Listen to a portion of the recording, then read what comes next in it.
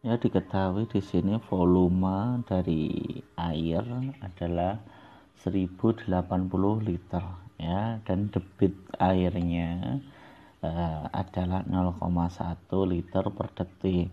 Berapa jam untuk mengisi galon seperti itu. Nah, jadi kita uh, di sini ditanyakan adalah berapa jam berarti waktu yang ditanyakan kalau ditanyakan waktu berarti volume per debit ya.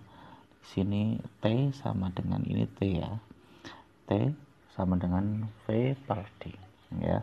T nya adalah sama dengan V nya volume 1080 per debitnya adalah uh, 0,1 jadi kita bisa hitung di sini 1080 dibagi 1 per 10 sama dengan 1080 dikali 10 per 1 ya. Jadi hasilnya di sini 10.800 menit ya. Kita jadikan ke jam ya.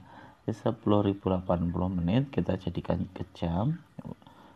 Jadi satu jam itu ada uh, berapa? 60 menit ya. Ini kita bagi saja dengan 3600 ya. Nah ini bisa sederhanakan. Jadi 108 dibagi 3 adalah 3 jam ya. Jadi waktu yang terisi penuh debitnya uh, galonnya adalah 3 jam seperti itu dari kita peroleh rumus di sini T sama dengan V per D tadi ya. Nah, dimasukkan terus dibagi uh, 3600 ini dari uh, detik ya. Satu jam itu sama dengan 3600 detik seperti itu ya